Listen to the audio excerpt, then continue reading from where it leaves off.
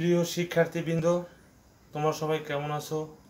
আশা করি সৃষ্টিকর্তার অশেষ কৃপায় তোমরা সবাই ভালো আছো। আমিও সৃষ্টিকর্তার অশেষ কৃপায় ভালো আছি। আমি গোপাল বিশ্বাস, শহীদ বুদ্ধিজীবী, ডাক্তার হুমায়ুন কবির উচ্চ বিদ্যালয়, সহকারী শিক্ষক, ব্যবসায় শিক্ষা।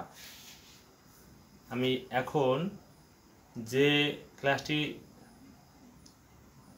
তুলে ধরছি সেটি হচ্ছে শ্রেণি ষষ্ঠ বিষয় বাংলাদেশ ও বিশ্ব পরিচয়। অধ্যায় চতুর্থ, আমার আজকের আলোচ্য বিষয় বাংলাদেশের জনসংখ্যা পরিচিতি। আমরা গত ক্লাসে জেনেছি বাংলাদেশের জনসংখ্যা সম্বন্ধে। বাংলাদেশ একটি দারিদ্র্যপ্রীত ছোট্ট দেশ, কিন্তু এর জনসংখ্যা অনেক বেশি। আয়তনের তুলনায় এর জনসংখ্যা খুবই বেশি। বাংলাদেশের প্রতি বর্গ কিলোমিটারে এক হাজার পনেরো জন মানুষ বসবাস করে। এটি হচ্ছে দু হাজার এগারো সালের আদমশুমারি অনুযায়ী।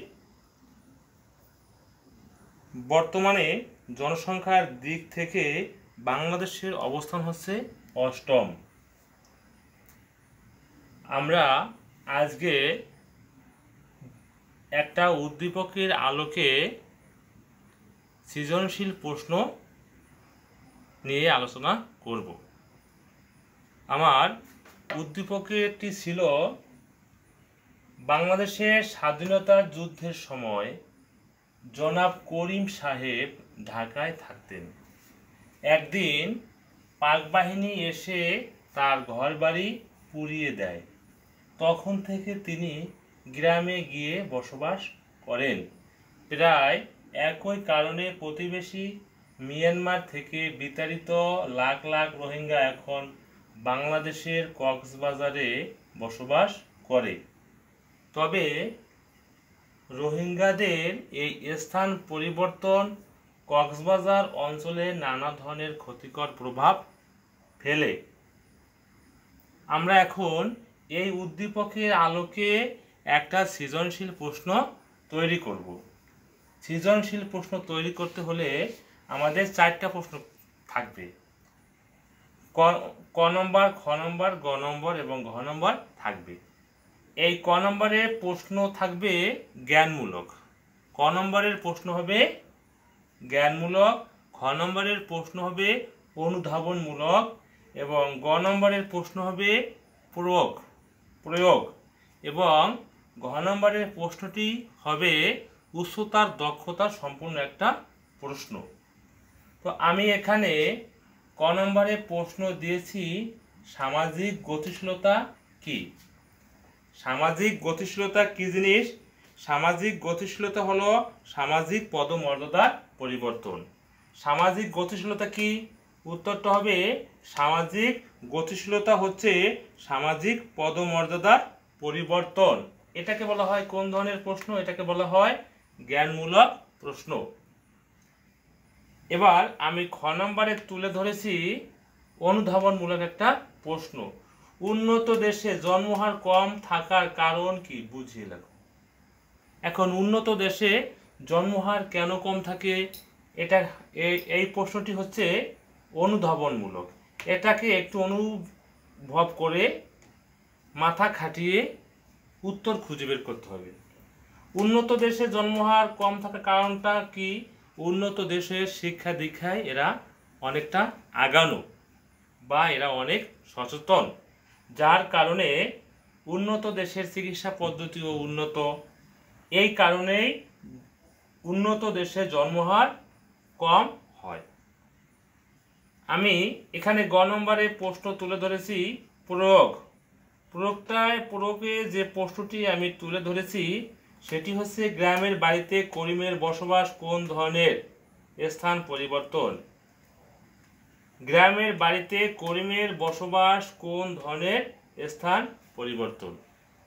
তাহলে আমাদেরকে এই উদ্দীপকের দিকে তাকালে আমরা দেখতে পাই যে করিম সাহেব একজন বাংলাদেশের মানুষ ছিলেন। তিনি বসবাস করতেন প্রথমত কোথায়? ঢাকাতে। যখন তার পাক বাহিনী এসে ঘর বাড়ি পুড়িয়ে দেয়, তখন থেকে তিনি গ্রামে গিয়ে বসবাস করেন। অর্থাৎ তিনি দেশের ভিতরেই আছেন। তিনি যেহেতু দেশের বাহিরে যাননি, সেহেতু এই প্রথমত উত্তরটি হবে গ্রামের বাড়িতে করিমের বসবাস হচ্ছে অভ্যন্তরীণ স্থান পরিবর্তন। তার মানে তিনি দেশের মাঝেই স্থানটা পরিবর্তন করেছেন বিধায়। এখানটার উত্তর কি আসবে? উত্তরটা আসবে যে এটি হচ্ছে অভ্যন্তরীণ পরিবর্তন। এবার ব্যাখ্যা, এটাকে প্রয়োগ আকারে আমাদেরকে বিস্তারিতভাবে বুঝিয়ে বলতে হবে বা বুঝিয়ে লিখতে হবে। করিম সাহেব কি ছিলেন? একজন বাংলাদেশের মানুষ ছিলেন। স্বাধীনতা যুদ্ধের সময় তিনি বিপদে পড়লেন। কেন বিপদে পড়লেন? পাক বাহিনী এসে তার ঘরবাড়ি পুড়িয়ে দেয়। তার ঘরবাড়ি না থাকার কারণে তিনি দিশেহারা হয়ে দিশেহারা হয়ে পড়েন। তার বাড়িঘর না থাকায় তার ঢাকাতে বসবাস করার মতো পরিবেশ তার আর ছিল না।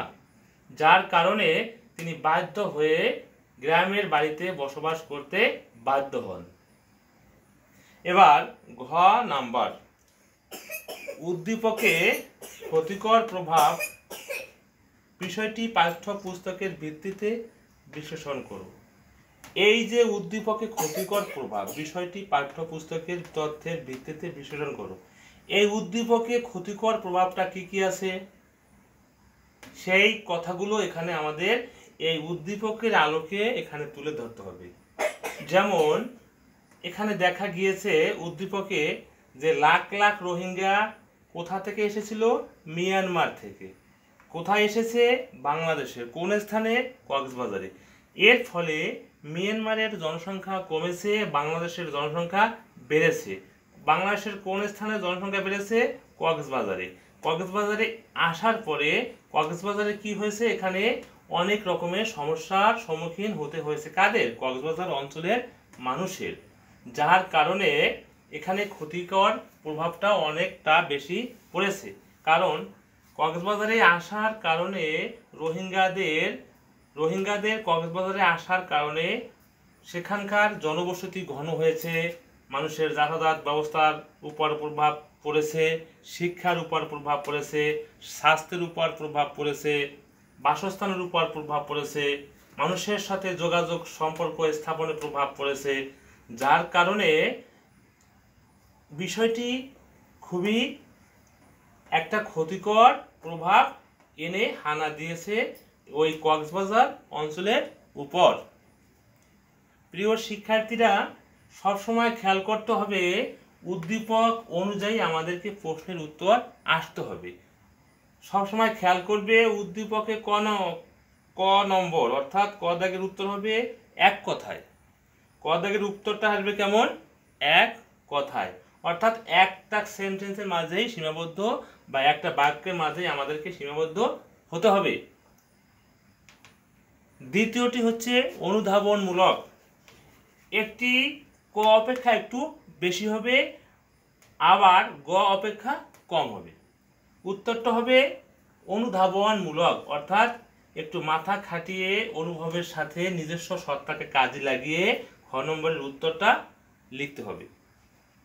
গ নম্বর, গ নম্বরটা হচ্ছে প্রয়োগ, অর্থাৎ এই উদ্দীপকে যে তথ্য চেয়েছে ওই তথ্যের আলোকে এখানে প্রয়োগ করতে হবে। উদ্দীপকের আলোকে গ নম্বরে এসে তথ্যটার প্রয়োগটাকে এখানে উপস্থাপন করতে হবে এবং এখানকার তথ্যের আলোকে এই গ নম্বরের উত্তর লিখতে হবে। ঘ নম্বর। অর্থাৎ আমি গ নম্বরে আরেকটু আলোচনা করি। গ নম্বরের এখানে তিনটা অংশ থাকবে। একটা অংশ থাকবে ক নম্বর। অর্থাৎ গ নম্বরের ভিতরে জ্ঞানমূলকও থাকবে, অনুধাবনও থাকবে এবং প্রয়োগও থাকবে। তার মানে এখানে তিনটা অংশ স্থান পাবে। গ নম্বরে কয়টা অংশ স্থান পাবে? তিনটা অংশ স্থান পাবে। এক হচ্ছে জ্ঞানমূলক, দুই হচ্ছে অনুধাবন, তিন হচ্ছে প্রয়োগ। এবার ঘ নম্বরের কথায় আমি ফিরে আসি। উদ্দীপককে ক্ষতিকর প্রভাব বিষয়টি পাঠ্যপুস্তকের তথ্যের ভিত্তিতে বিশ্লেষণ করো। এখানে চারটা অংশ প্রাধান্য পাবে। ঘ নম্বরে চারটা অংশ প্রাধান্য পাবে। এক হচ্ছে জ্ঞানমূলক প্রশ্ন থাকবে ক্ষতে অনুধাবন প্রশ্ন থাকবে এবং পূরক থাকবে। তার সাথে যোগ হবে উচ্চতার দক্ষতা সম্পূর্ণ প্রশ্নের উত্তর। সবাইকে ধন্যবাদ জানিয়ে আমি আমার পাঠ সমাপ্তি ঘোষণা করছি।